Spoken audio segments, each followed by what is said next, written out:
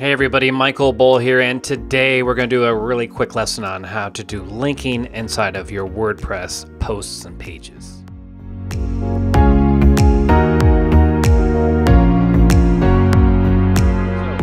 An important part of any website is to be able to link to pages inside the website and link to pages outside of the website. So let's do a quick uh, review on how to do that. So I have a post here called Linking Practice, and I have two things I want to link Disneyland and an internal page.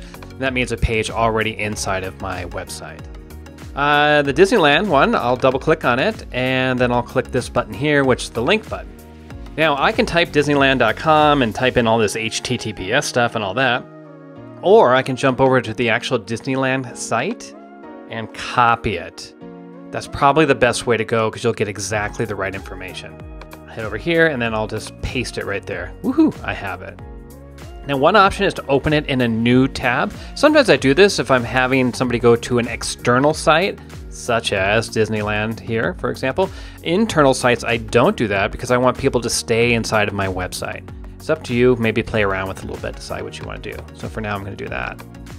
Now, that should be linkable now. Whoops, actually I did it wrong. Let's try it again. I'm to paste it, do this, and this is where actually I make some mistakes sometimes. You got to click on that. Now you see how it's lit up. Sometimes I'll just hit enter and it won't necessarily work properly. So unless you see it lit up like that, you'll know uh, it's not working. So make sure that it is highlighted or at least change colors there. For the internal page, I'll click on this one here, and here's where I can type in something. Now I know my internal page has something to do with Clash Royale, and you can see all my posts have turned up here.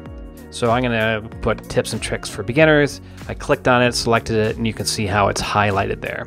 Now I wanna see if it works, and I can do that right here on this page directly. So I'll click on Disneyland, and I can see, cool, it's gonna, it looks like it's all set and ready to go. It'll open up in a new tab there.